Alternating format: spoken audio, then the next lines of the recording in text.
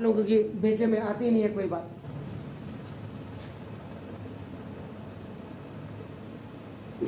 Force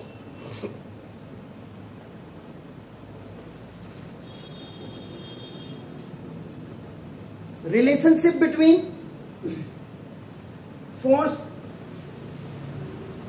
and movement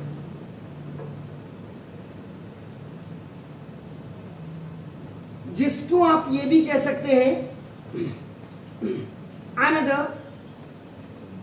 definition of Newton's second law of motion ये देखो।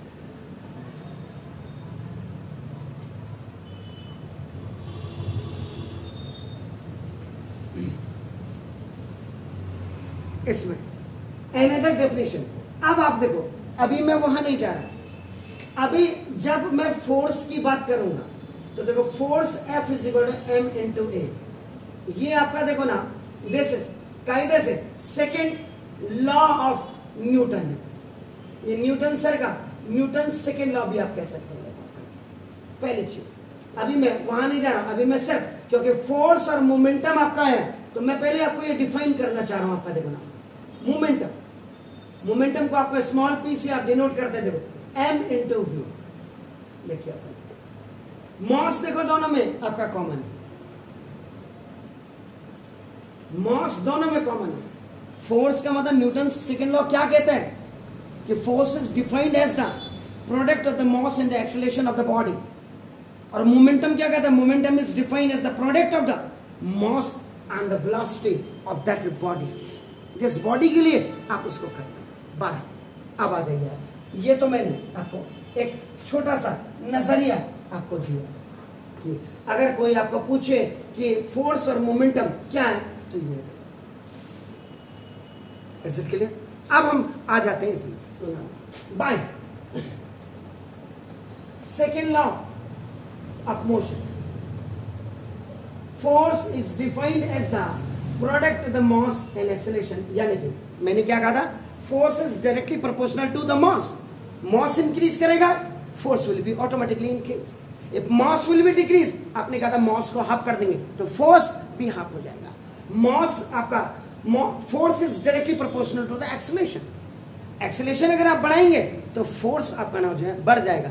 Acceleration if you are going to lower decrease आप करेंगे तो force भी आपका क्या हो जाएगा? डिक्रीज हो जाएगा. इज़ इट क्लियर फाइन ठीक है ना? तो इसका मतलब क्या होगा कि ना, अब आपने कंसीडर किया कि a body has mass M किसी बॉडी का मॉस आपका क्या है? एम है। हैविंग हैविंग है। Having its its initial velocity. आपका initial velocity, u. and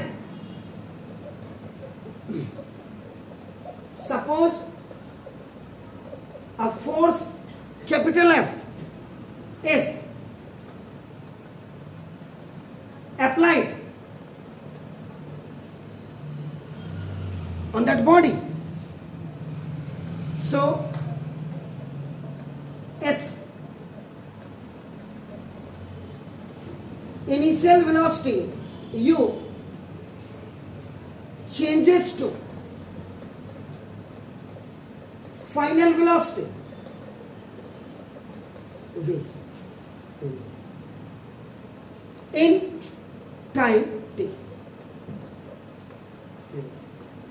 अगर कोई बॉडी बॉडी का मतलब आप भी बॉडी हो, मैं भी बॉडी हूँ, किताब भी बॉडी है, ये पेन भी बॉडी है, ये आपका कुछ भी ठीक है ना?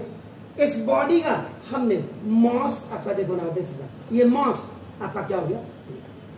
ये रेस्ट में है। जब रेस्ट में होगी तो इनकी इनिशियल वेलोसिटी आपका क्या होगा? ठीक हो गया सर आपका। और इसका जो एक्सलेशन होगा एक्सलेशन आपका क्या हो गया? ए आपका body has mass M mass M sorry mass M kilogram अगर आप इसकी यूनिट को आप देखेंगे तो देखो, ये किलोग्राम में इनिशियल वेलोसिटी है तो मीटर पर सेकंड में हुई देखो। अगर आपका इसका एक्सलेशन की बात करेंगे तो आपका अब आपने इस बॉडी में कोई फोर्स अपने, कोई फोर्स अपने अप्लाइड की फोर्स फोर्स की आपकी जो यूनिट होती है, वो क्या होती है? न्यूटन फोर्स कितने टाइम तक आपने लगाया? टाइम टी तक और टी आपका यूनिट क्या होना जिससे कि सारी चीज़ यूनिट भी साथ लिख दे देखो आपका नाम its initial velocity U U आपका नाम देखो। And suppose a force F is applied on this body आपका नाम सो इसकी जो इनिशियल वेलोसिटी है now it will be change ये जो इनिशियल वेलोसिटी है, अब आपका नाम देखो दिस ये फाइनल वेलोसिटी में, आपका फाइनल वी में, आपका ये भी मीटर पर सेकेंड में आपका होती है चेंज हो गई। And finally at a time कितने टाइम तक आपने ये फोर्स को अप्लाई किया है आपका देखो क्लियर इसका मतलब। अब देखो, ये हो गया। यहाँ पे, अब आपका फ़र्स्ट तो देखो equation of motion first equation of motion ये देखो। फ़र्स्ट इक्वेशन ऑफ़ मोशन क्या था? V is equal to U plus it ठीक है? तो ना v minus u is equal to 80 what was this it is on transposing u is shifted on the left hand side so on the right hand side it has positive sign transpose में आपका minus हो and we have to find out this a तो देखो a a का मतलब आपका क्या हो गया कि v माइनस यू अब अगर आप इसको डिफाइन करके लिखेंगे देखो आपका a means acceleration acceleration v means v का मतलब दिस द फाइनल वेलोसिटी आप इसको किताब में औरों में भी देखिएगा और तब मुझसे ज़िक्र करिएगा। देखो क्या final velocity minus initial velocity final velocity देखिए minus initial velocity over T का मतलब आपका देखो this what is that that is the time taken अगर इसको पूरे आप डिफाइन करें। अब, जब initial velocity is going into change into the final इसका मतलब क्या हो गया? कुल मिला के क्या हो गया? एक्सलेशन का मतलब क्या हो गया? फाइनल माइनस इनिशियल का मतलब change in velocity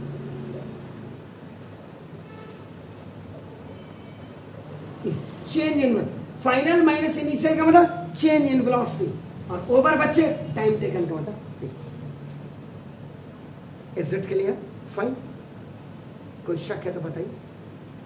अब देखिए, ये आपका, ये आया ये देखो. अब आप क्या करेंगे? थर्ड फोर्स में substitute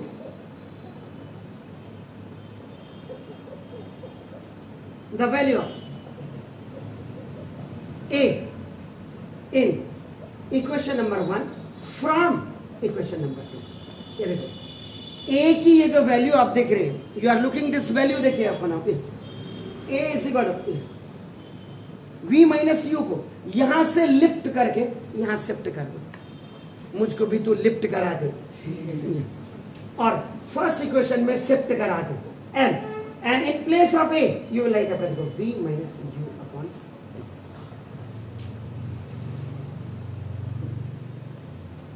clear हो गया सर अब आपका अब F is equal M V this is the binomial monomial है तो this will only multiply with the numerator M visa M B plus minus का माइनस एम यू सा एम यू एम यू है हाँ you you है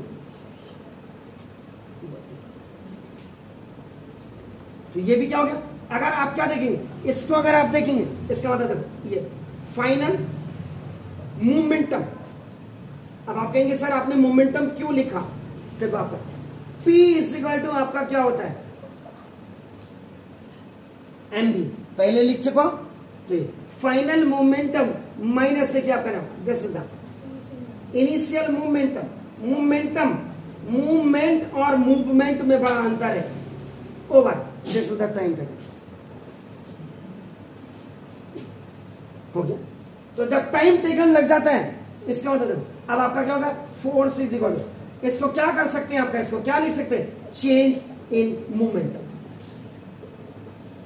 change in momentum over time taken और जब time से किसी भी सीरीज़ को आपका, किसी भी न्यूमिनेटर को अगर आप डिवाइड कर रहे हैं, उसका मतलब रेट हो गया। क्या हो गया? रेट तो अब आप इसको देखो। F is equal to rate of change rate of change in momentum. ये देखिएगा इसका मतलब the force applied to a body the force applied to the body is directly directly proportional to the rate of sorry rate of change in CHANA and change in momentum, which is produced, which is produced in a body. जो किसी भी body में आपका produce होता है, उसको आपका नाम होगा द सिस्टम तो ये था।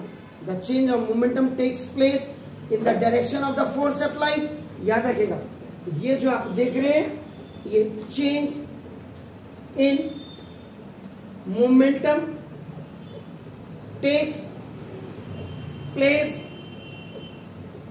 in the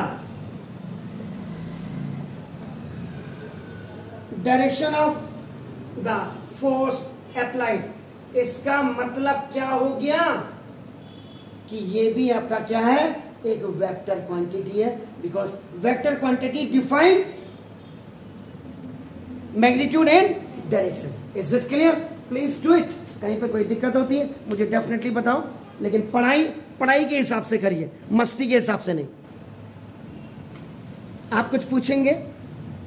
Is it clear F is M into A और आपका ना जो एफ़ आपका फ़र्स्ट इक्वेशन से आपने A is V minus U upon T निकाला and then the value of A is shifted in equation number one आपका now then आपका दैट वाज कमिंग आपका F is final momentum minus initial momentum by time taken in at last I have written आपका F is rate of change in momentum और उसके बाद आपका last में लिखा कि जो force applied in body is dry यानी कि इसका मतलब क्या हो गया?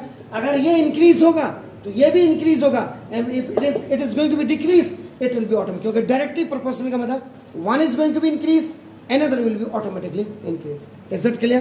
Fine. कोई दिक्कत तो नहीं? यस सर आपको पक्का स्कूल में पढ़ा दिया है? यहाँ समझ आया है वहाँ समझ आया यहाँ आया। चलिए। जी सर अरे श्योर हंड्रेड परसेंट पक्का है? चलिए गॉड ब्लेस यू।